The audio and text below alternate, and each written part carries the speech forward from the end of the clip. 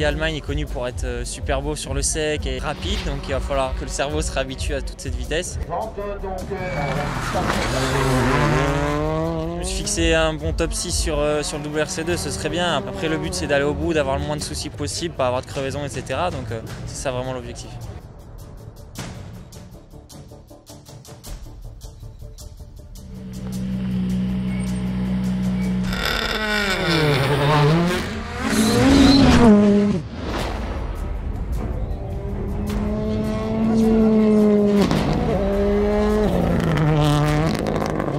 De la voiture sur la première boucle, ça a été compliqué de prendre nos, repères. Dans la deuxième boucle, on s'est lâché un peu plus, on s'est bien rapproché au kilomètre des, des autres.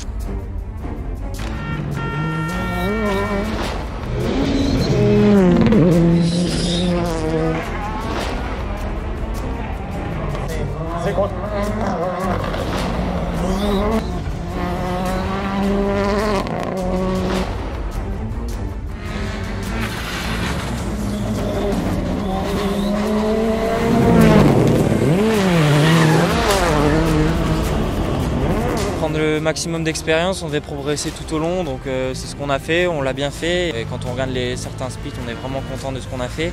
Donc franchement, le- les objectifs sont bien remplis.